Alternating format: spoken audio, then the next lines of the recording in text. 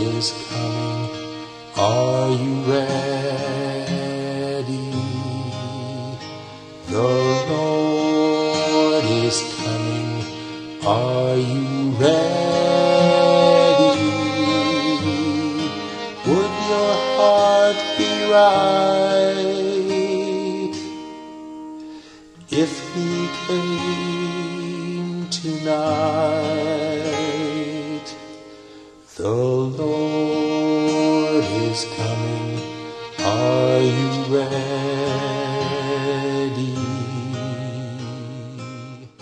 Der Sabbat wird noch umfassender verkündigt.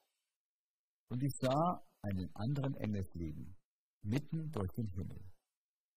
Der hatte ein ewiges Evangelium zu verkündigen denen, die auf Erden wohnen, alle Nationen und Stämmen und Sprachen und Völkern.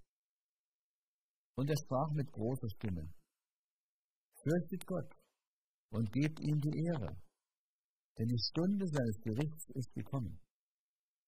Und betet an den, der gemacht hat Himmel und Erde und Meer und die Wasserquellen. Zu Beginn der trübseligen Zeit wurden wir mit dem Heiligen Geist erfüllt, als wir hinausgingen und den Sabbat noch völliger verkündigten. Der hier erwähnte Beginn der trübseligen Zeit bezieht sich nicht auf die Zeit, in der die Ausgießung der Plagen beginnen wird, sondern auf einen kurzen Zeitabschnitt, bevor sie ausgegossen werden, wenn Christus noch im Heiligtum ist. Während zu jenem Zeitpunkt das Erlösungswerk abgeschlossen wird, kommt Trübsal über die Erde. Die Völker werden zornig sein, doch werden sie noch zurückgehalten werden, damit sie das Werk des dritten Engels nicht verhindern. Zu jedem Zeitpunkt wird das Spätreden, die Erquickung vom Angesicht des Herrn kommen, um dem lauten Ruf des dritten Engels Kraft zu geben und die Heiligen darauf vorzubereiten, während der Ausgießung der letzten sieben Klagen durchzuhalten.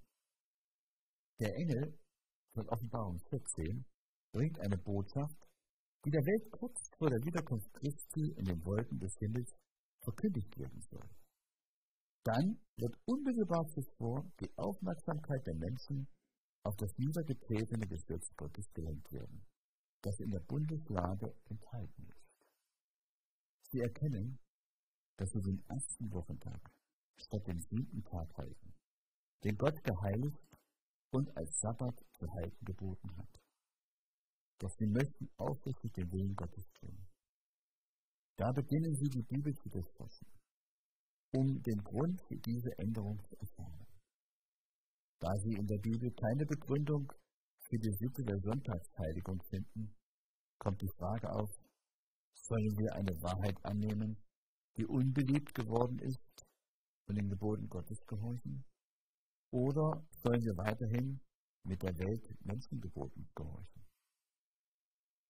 Die Bibel offen vor sich, so weinen und beten sie, vergleichen eine Schriftstelle mit der anderen, bis sie sich von der Wahrheit überzeugt, ihrem Gewissen folgend auf die Seite derer stellen, die Gottes Gebote halten.